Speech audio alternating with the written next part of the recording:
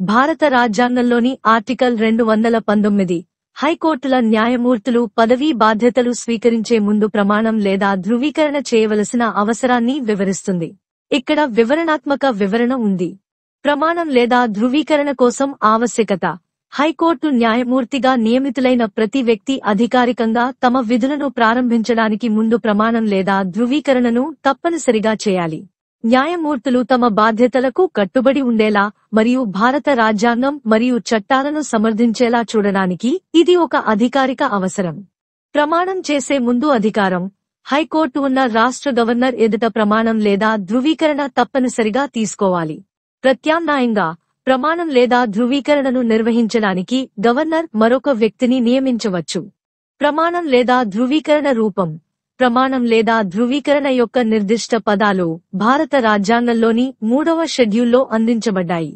ఈ షెడ్యూల్ ప్రక్రియలో స్థిరత్వం మరియు గంభీరతను నిర్ధారిస్తూ న్యాయమూర్తి తప్పనిసరిగా పఠించాల్సిన మరియు సభ్యత్వం పొందవలసిన ఖచ్చితమైన వచనాన్ని కలిగి ఉంటుంది. ఈ ఆవశ్యకత యొక్క ఉద్దేశ్యం న్యాయాన్ని సమర్థించడం నిష్పాక్షికతను కొనసాగించడం మరియు రాజ్యాంగానికి అనుగుణంగా వారి విధులను నిర్వహించడం వంటి నిబద్ధతతో న్యాయమూర్తులను అధికారికంగా వారి పాత్రల్లోకి చేర్చడం. ప్రమాణం లేదా ధృవీకరణ భారతదేశం యొక్క రాజ్యాంగ సూత్రాలు మరియు న్యాయ వ్యవస్థకు విధేయత యొక్క ప్రతిజ్ఞగా పనిచేస్తుంది.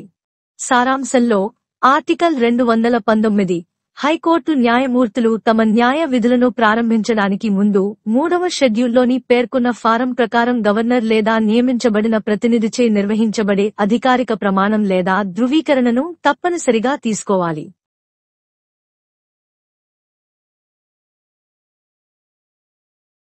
భారత సంవిధానము. భాగము ఆరు.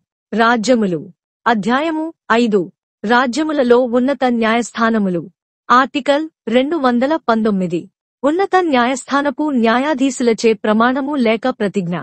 ఉన్నత న్యాయస్థానపు న్యాయాధీశునిగా నియమింపబడిన ప్రతి వ్యక్తియు తన పదవిలో ప్రవేశించుటకు పూర్వము రాజ్య గవర్నరు సమక్షమునగాని తద్విషయమున ఆయనచే నియమింపబడిన వ్యక్తి సమక్షమునగాని మూడవ అనుసూచిలో అందు నిమిత్తము పొందుపరచబడిన ప్రరూపముననుసరించి ప్రమాణము లేక ధృవీకరణను చేసి దానిపై చేవ్రాలు చేయవలెను.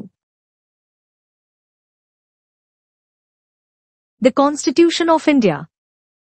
Part 6. The States. Chapter 5. The High Courts in the States. Article 219. Oath or affirmation by judges of high courts. Every person appointed to be a judge of a high court shall, before he enters upon his office, make and subscribe before the governor of the state, or some person appointed in that behalf by him, an oath or affirmation according to the form set out for the purpose in the third schedule.